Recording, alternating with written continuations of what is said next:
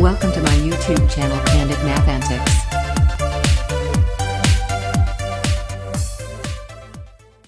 Hello friends स्वागत है हमारे YouTube channel Candid Math Antics में। आज हम बात करेंगे double and triple integrals in advance calculus in BSc classes तो इसमें एक है, ये फुवीनी थ्योरम है। इस पर नॉर्मलिटी हमारे कुछ दोस्तों ने बताया कि आप इसको, हमको वीडियो बना के समझाएँ। दोस्तों, हम ये चीज़ें बता रहे हैं। इसके पहले कि हम थ्योरम पर चलते हैं, आप हमारे चैनल को ज़रूर लाइक करें, सब्सक्राइब कर दीजिएगा, ताकि आपको नई नोटिफिकेशन मिल सके। तो चलिए दोस्तों, कहता है in the rectangular region in the rectangular rectangular, इसके बाद क्या है? Rectangular region region of the continuous function of the continuous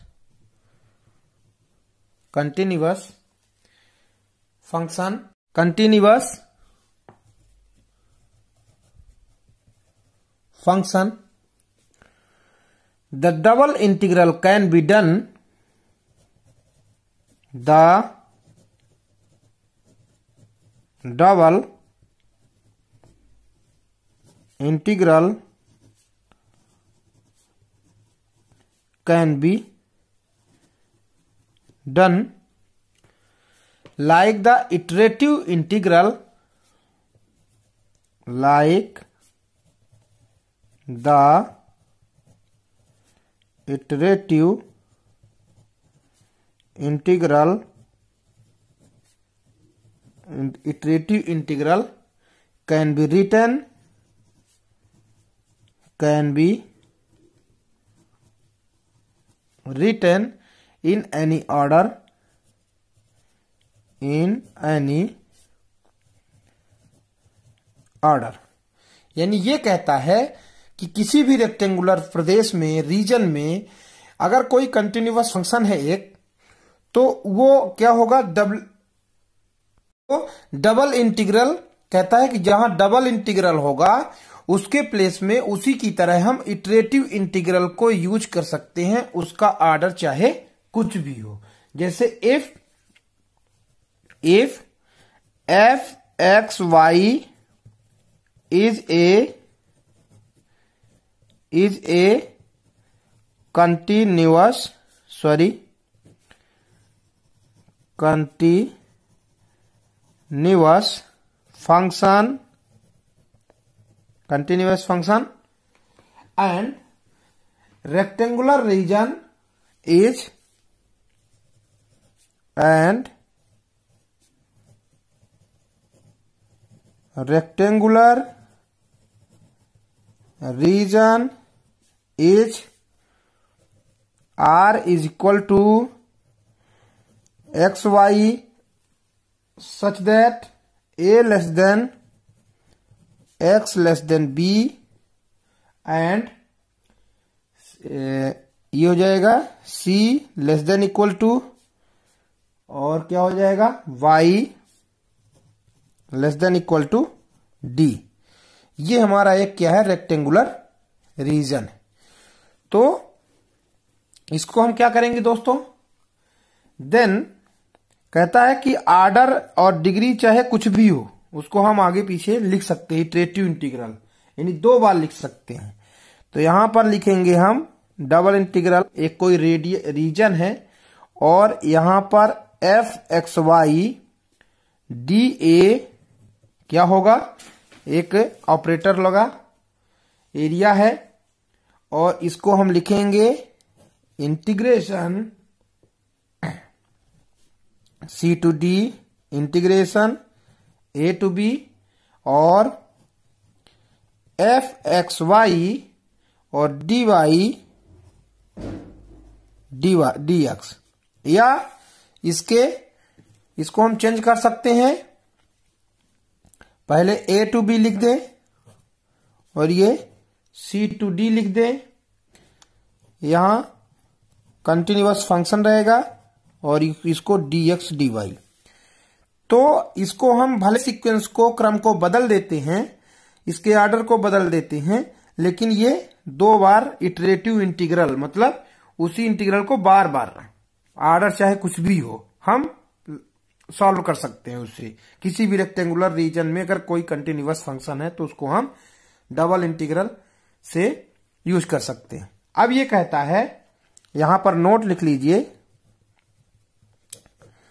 ये जो डबल इंटीग्रल रीजन है रीजन और कंटिन्यूस फ़ंक्शंस डी ए यह एक क्या है? नंबर है। Is a number.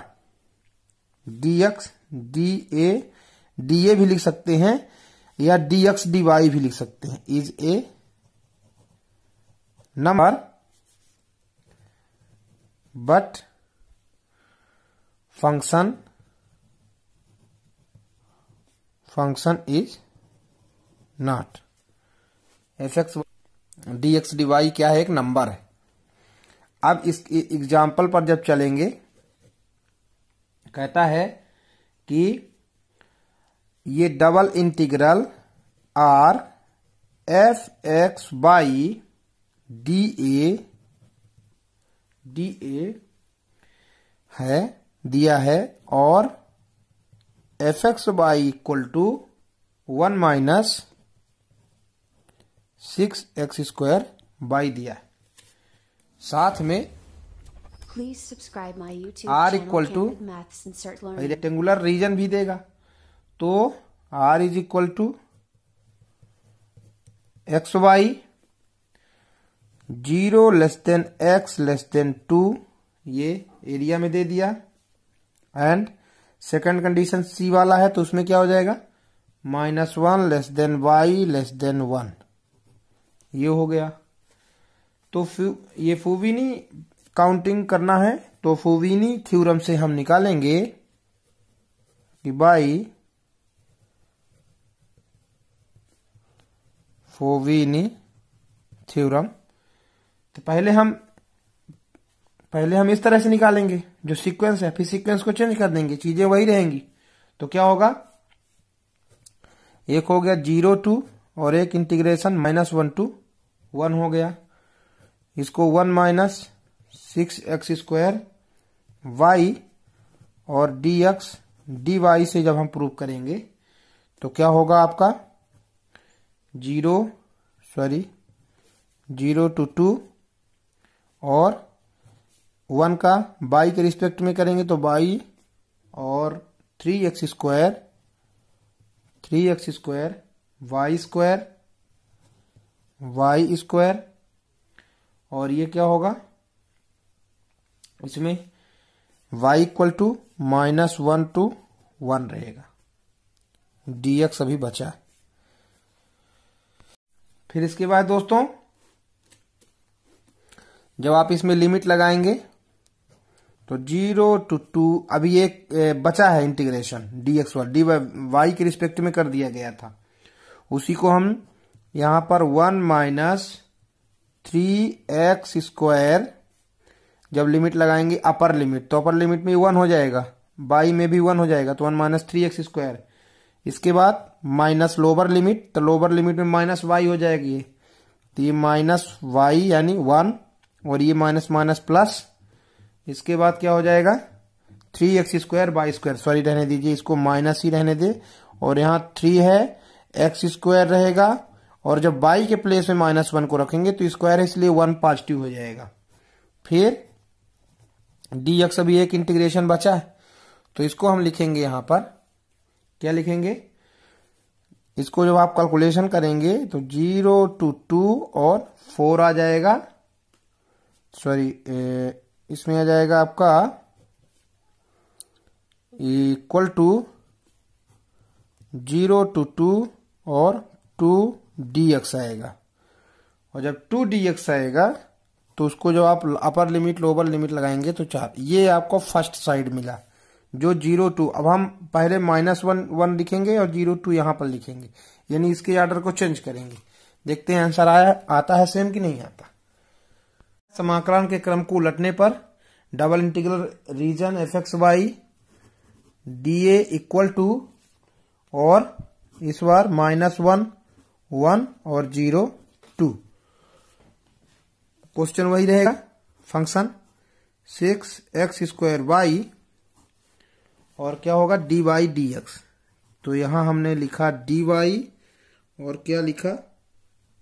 D x इसके बाद हम यहाँ जब इसको सॉल्व करेंगे तो माइनस वन टू वन तो रहेगा। हम इसके रिस्पेक्ट में करेंगे एक्स के रिस्पेक्ट में।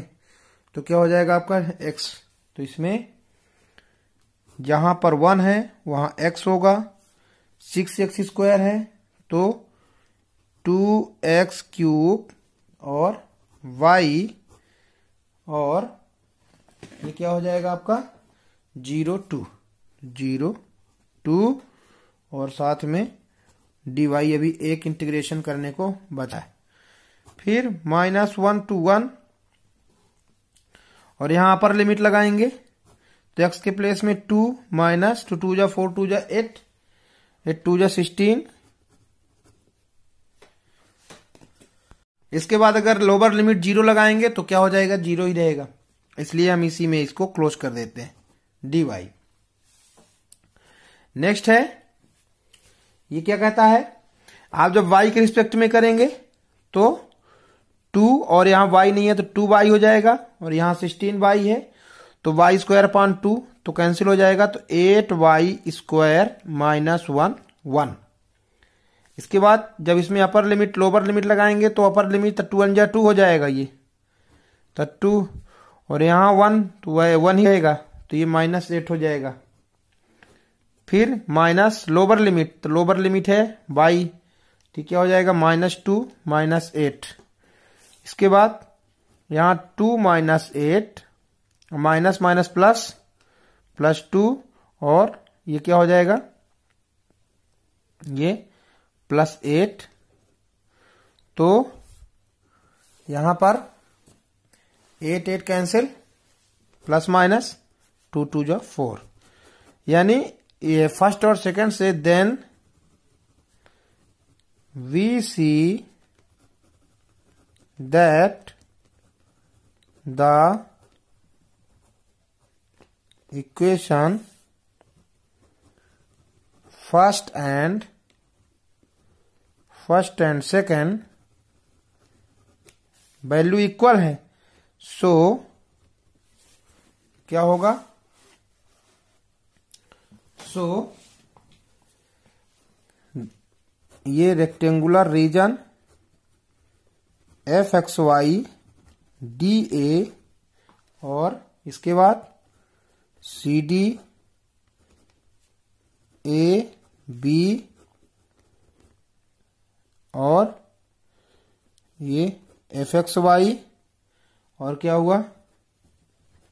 डी वाई डी एक्स और ये ए टू बी क्रम को चेंज कर देंगे सीक्वेंस को तो f x y d x d y ये हमेशा क्या होते हैं? इक्वल होते हैं दोस्तों। तो ये डबल और इंटीग्रल ट्रिपल इंटीग्रल में फूवीनी थ्योरम्स था। काफ़ी इंपॉर्टेंट भी है। तो इस तरह से दोस्तों, मैंने आपको बताया है। हमारे चैनल में अगर आप नए हैं तो हमारे चैनल को ज़रूर सब्सक्राइब कर दीजिएगा लाइक करेंगे और बेल आइकन को ज़रूर प्रेस करिएगा ताकि आपको नई नोटिफिकेशन मिल सके। आज इतना ही।